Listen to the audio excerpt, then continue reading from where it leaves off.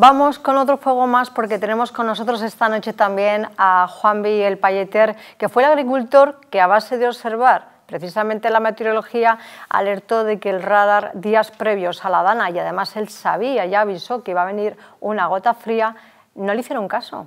Buenas noches, ¿cómo estás? Hola, buenas noches, ¿qué tal?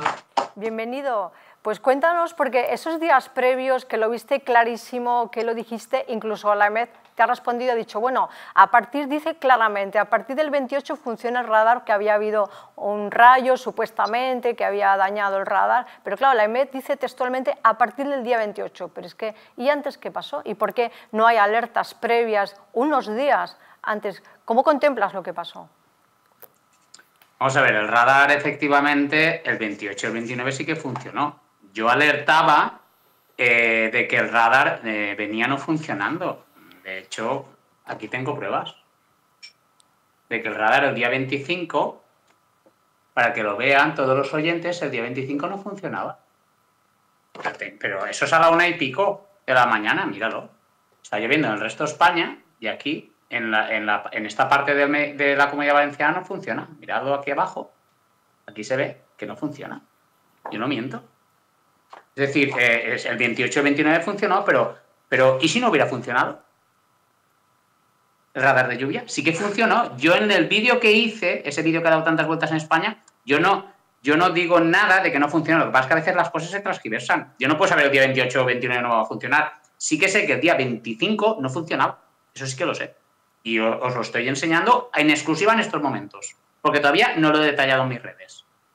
A pesar de una comunicación viral, ¿alguien eh, se hizo eco de lo que estaba contando? ¿Alguna autoridad se puso en contacto con usted, nada de nada. No, no, a ver, el vídeo es un vídeo que pasa desapercibido. El vídeo se hace viral después de la gana. El vídeo es un vídeo que lo vieron, creo que en, una red social mía lo vieron 50.000 personas. El vídeo se hizo viral después y lo vieron casi 2 millones de personas. Pero el vídeo no me hizo caso nadie. sí que es verdad, tengo que decir, que me hizo caso algunas personas y me dieron las gracias por privado. De hecho, puse algún comentario en público que les había salvado yo la vida porque me hicieron caso en el vídeo. Pero hubo gente que no se, no se creyó que venía esto, lo que vino, y que pensaban, a ver, yo tampoco llegaba a la magnitud de lo que ha pasado, tampoco así. Pero yo estaba avisando que podían pasar consecuencias graves si no funcionaba el radar, evidentemente. ¿Que sí que funcionó? Sí. Luego están los protocolos que se han adoptado, que eso es otra historia. Con nosotros está Gabriel Araujo, que quiere hacerle alguna pregunta. Bueno, eh, felicitar a Juanvi porque fue de los primeros que cinco días antes pudo determinar efectivamente que esta dana se venía. Yo fui uno de los que compartió ese vídeo porque le sigo en redes y recomiendo seguir a Juanvi porque de verdad que siempre tiene una opinión eh, profesional y, y, sobre todo completamente aséptica, no tiene vinculación con nada político, sino sencillamente el, trasladar la verdad a los españoles y solamente felicitarle a, Juanvi por, por, esto y que por favor todos estén pendientes. No le voy a preguntar más a Juanvi porque ha sido absolutamente claro y transparente en todos sus vídeos. Si hay algo que realmente eh, caracteriza a este gran agricultor es que realmente es absolutamente claro en, en sus declaraciones. ¿no? Pues vamos Oye, un saludo, un saludo, Gabriel, un saludo.